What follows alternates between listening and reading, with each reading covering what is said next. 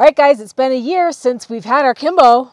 Yeah, it's been exciting. We've used it quite a bit last summer. And we actually used it a little bit through the winter. So in this video, we're going to tell you some of the key considerations about Kimbo winter performance and things that we've learned.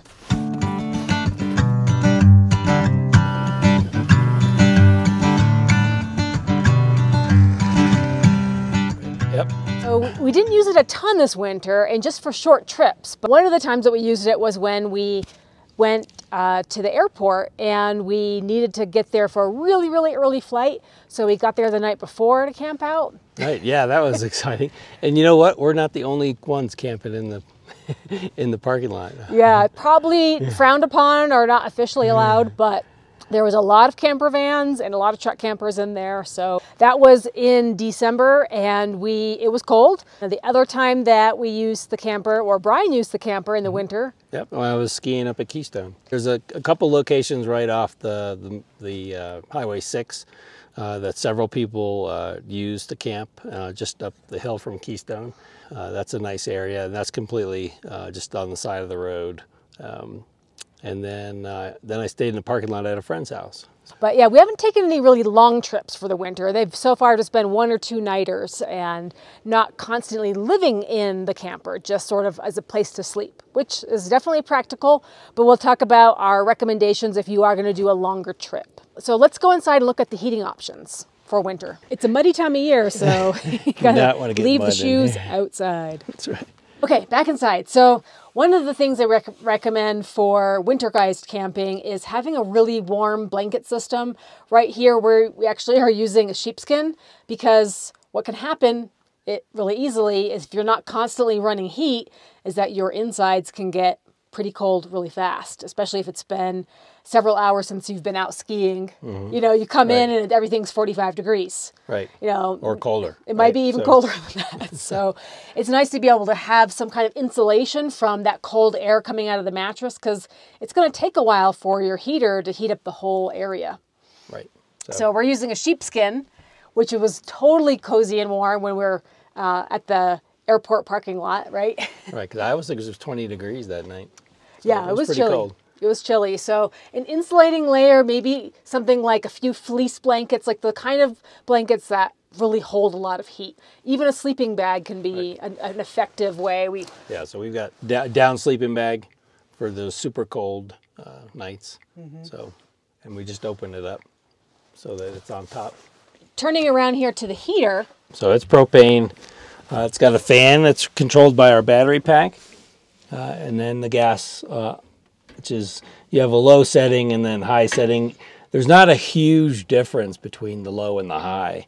So you once you once you've heated once you've warmed up the camper and then you turn it to low, you're still going to get quite a bit of heat coming out of there, uh, especially with the fan on, uh, starting to blow that heat around mm -hmm. the camper. So, um, one thing that um, you need to do is to, to try and regulate that temperature is to let some heat out and maybe circulate it around. So if you had like on the bulkhead here, if you had another fan that was higher up and you could point it down so that you can then circulate because it, it'll, it'll, the heat will stratify, stratify. So you'll have hot up here and then you'll have to be really cold still down at the floor level. So if you had a way to, uh, another fan that could blow the heat down into the floor area, uh, that would be perfect. Mm -hmm. So um, and then the other thing way to do it is to open up the vent on the ceiling.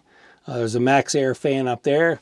Uh, you can just open, just crack the hatch on it uh, and kind of finagle with it, kind of get it to where, depending on the temperature outside, just how much heat you need to let out um, at a time uh, to make it a relatively constant temperature, comfortable as possible, right? Because you're sleeping high up as well, so you're mm -hmm. going to have that that hot layer up here right where you're sleeping. Yeah. So. And then you talked about having another option for heating if you had shore power. Right, exactly. And so and that this this one works a little bit better because you can get one with a thermostat, so just an electric heater. So a small electric heater like this one, this one uh, oscillates a little bit as well, but it's got a thermostat on it.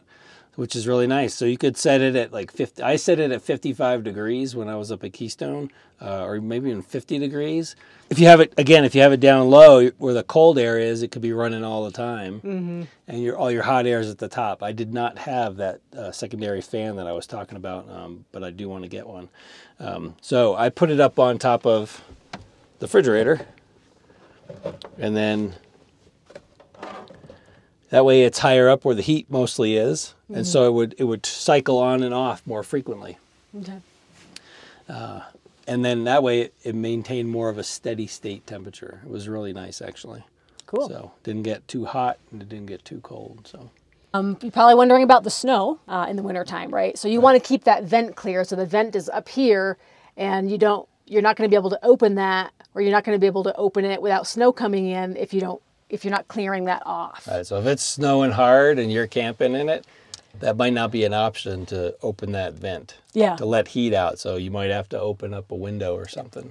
But people are probably wondering how we're storing it, right? Um, we don't have a gigantic garage for it. We just unload it right up uh, on our driveway here. We've got a nice little space for it. Take it off the truck. Uh, pull it out, and then we lower the camper down. Mm-hmm. That way, you're not getting that uh, the torque from the wind um, pushing the camper uh, on the legs. And then another winter consider- consideration I think people might be wondering about is winterization. Is there anything that we have to do to store it for winter or to use it for winter? We don't have any piping in it. We don't have any. No standing water. No right? standing water, so yeah. We don't have to blow out air lines or put antifreeze in the lines like you would on a, a traditional RV mm-hmm. um, or maybe some of the other um, truck campers that have you know running sinks and things like that in it. The battery pack that is the primary source for power. It doesn't charge well when it's really really cold outside. So if right. you've got single digit temperatures below freezing, you probably want to take your battery inside to charge it before a trip. So it's definitely a winter consider key consideration for winter is having your battery charging in a warmer environment like indoors yeah. versus outdoors with a shore power hookup. You know, notably, we haven't taken any really long trips with it. So far, we've just taken those single night trips or right. maybe one or two nights where, especially with skiing, you were you were out doing something, you were right. having dinner out at a restaurant, not right. necessarily cooking and being self-sufficient inside the camper. Not that it couldn't do that, just we don't have any uh, data to share with you on that right, yet. Right. Yeah, that's that'll be another video down the road when we we finish the galley area, kind of build mm-hmm. that out the way we want it. We haven't really used the um, heater and the propane as much to tell you how many hours it lasts. You can probably get away with a good three days at least okay. of constantly running it. Okay. So. That's fair. Yeah, we, I mean, people think maybe you're only using it in the wintertime, but we definitely used the heater in the summertime when we were camping in the mountains and it was chilly. Those yeah. cool nights and those really chilly mornings, it's nice to turn the heater on before you get out of bed, get dressed, and all of that. Yeah. We made a video about a year ago when we first got the camper and our t- intentions to finish out the base model of the Kimbo with our own customizations as far as cabinetry and kitchen and bath. Um, and storage. And, right, and decor, you know. Yeah. We've gotten started, we just haven't finished it. So we're hoping to get to that before next camping season in the summertime, but we'll show you what we've got so far. The easiest thing that we did was adding some cargo netting right above the bed. That's where I kind of like to keep some slippers and socks, um, easy to reach items like remote controls. And just our clothes. I mean, socks, underwear, t-shirts. You know, we don't normally bring a ton of clothing with us, so um, those it goes right in there perfectly. Yeah, things that are really lightweight and small are perfect for the cargo netting. Now this is the area where you see most customization in the Kimbo. If you've seen other videos of what people have done, or you look at their website. Right. So you, you have some additional cabinetry here. Uh, actually, some of the, there's one that comes up on top of here, and there's like a little shelf area. So we're gonna we're gonna make some uh, custom cabinets as well. Uh, we might even move this to the other side so then we can have another sleeping area. So uh, two cabinets will stack on top of each other. Um, so we could put all our, you know, additional food or utensils or cups and pots and pans, things like that in there, whatever whatever we we come up with, um, or even clothing, things like that. Have nice little cubbies that are easily accessible. Um, and then have it uh, so that's convertible. So you can then take one of the shelves down, put it here. You could then put another uh, couple pads across so you have an additional sleeping area. So if, if this if the power unit is on the other side, then you've got plenty of room to sleep again. Have somebody else. Right now, this is like a little uh, cupboard. This is the storage area that comes stock and standard with the uh, with the Kimbo. Right. So we keep our uh, portable uh, toilet in there. Yep, potty's right underneath. Easy to take out at night and put it on top if we need an emergency bathroom. right? And then we've got a propane uh, stove in here. Um, and that might eventually get permanently mounted on top of the cabinet for the kitchen area or the galley. A couple of folding chairs, a little electric kettle, dehumidifier. Yep. So a few odds and ends in here. Yes, Yeah. exactly. And that's a hinged top with a cushion. So that's seating area for, at the moment, but a lot of times we use that for storage, especially if I'm doing the art shows. I end up putting a lot of my Tupperwares filled with my, my art bins right there. So, Okay, and next. and then the galley area. Now we opted to get our own uh, refrigerator. Uh, this one from SetPower uh, is perfect. It fit exactly in the space that we had available. Uh, right now we just have it bungeed in, but it'll get it'll get uh, a bracket that actually holds it in place. Tons of space in there. Um, so we'll have a countertop that uh, flips up, and you can latch it in place so you can easily so you're not using three hands to try and get in there, um, which will be perfect. There'll be a, another countertop over here. And the wood is what you've added so far, right? So you did this. Right, and you might you might be well, why'd you add wood? Well, because I'm going to put uh, this is a, a foam kind of a insulation. Um, it's not super sturdy. I want to put uh, some uh, barnwood on here to make it cozier, uh, and I'm going to wrap it all the way up to the top. So we'll have barnwood up here to make it. uh, Which so this plywood is so I can attach the barnwood to it. Okay. So, um, so it'll have this will be a, like a one separate little room. Uh, countertop over here will be fixed in place. This little wooden thing? Yeah, this is just a, a mounting um, bracket for the countertop, so we'll just mount it right in there. Okay. So this will be a fixed piece, then there'll be a separate one that lifts up, so you, Okay. Um, so you can always just have some stuff right there. Is that where you're imagining for like the sink area? Or? Yeah, this would be like a sink area potentially. And we could actually even put another one on top, maybe even extend it out just a little bit more. if We mm-hmm. need a little bit more space, but Okay. That is a nice little shelf there. Yeah. And then the other little bit that we added uh, for storage was just the wire rack. so exactly. just some odds and ends, some food, toiletries, and um, utensils. But it's you know it's not a lot, but it it worked the summer, you know, for what we needed it for. Yeah, it's perfect. So And then in here, just have some sort of some hanging organization. We haven't really gotten around to it yet. You know, just there's a little bit of area for hanging organization. Um, there's another little cubby right in here. But And this is more this this uh, material here is more of a waterproofed or water resistant material. So if you have wet things, uh, as you can see in the camper, you've got a separate an area that's kind of separated off from the main area. So um, if you got ski boots and wet boots, things like that, keep it in there. You can pull this uh, board out and wipe it out, clean it all out. So. Right. So the other aspect for winter camping with uh, Kimbo is that, like any truck camper or even an RV, you're dealing with having level ground, and that's a lot more challenging when you have a lot of snow on the ground.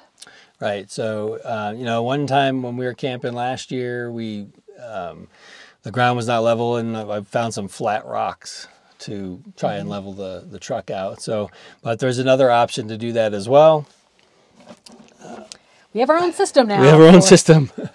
Kohree was nice enough to send us out uh, these leveling blocks, and uh, and so hopefully in the future I won't be using rocks because it actually took a long time to find rocks.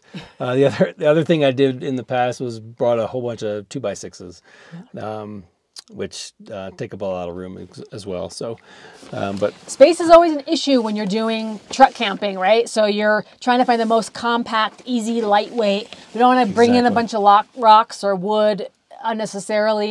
You know, it's nice to have an option that's easy to kind of bring along and um, Yeah, and Well- they're they're well packaged here. They're they stack up real nice. Uh, there's the top plate for it. All the blocks. There's ten of these blocks. Uh, they're about one inch in height, and they're stackable. So um, You can figure out whatever configuration you need, however high you need to make it. We'll put a link in the video description if you guys want to check it out. Um, they have Kohree is an entire like RV site with lots of supplies, so you'll be able to get a discount through them by using our code. So we'll put that information in the video description. But like, I want to see how it works. So, Yeah, let's do Let's it. get it set up.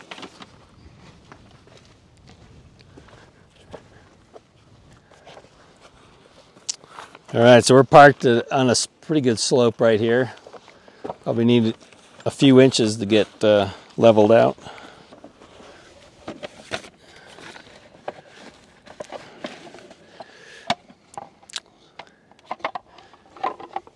There's different ways that you could do this, you know, depending on how high up you think you could drive up onto. You know, we could just have three or four stacked like this and then drive right up onto it. The other option is to kind of um, stack them Oh, in a cool. triangle fashion. So That's cool. that'll give you a little bit of a, a one up like that.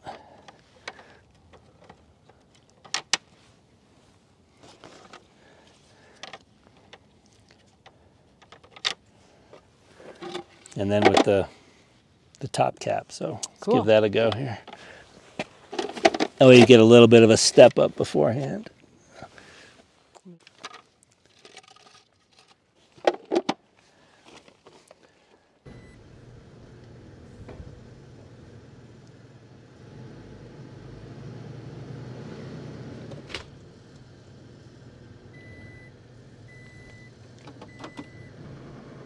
Yep.